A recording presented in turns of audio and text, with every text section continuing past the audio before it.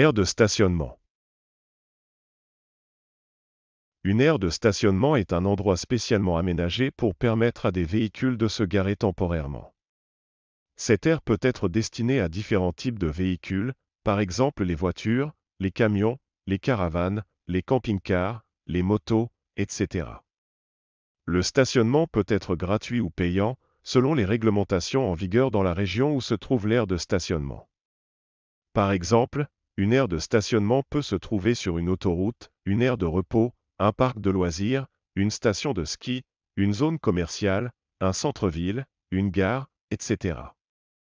Les aires de stationnement peuvent être équipées de différents services pour les usagers, comme des toilettes, des douches, des bornes électriques pour les véhicules électriques, des points d'eau, des aires de jeu pour les enfants, etc.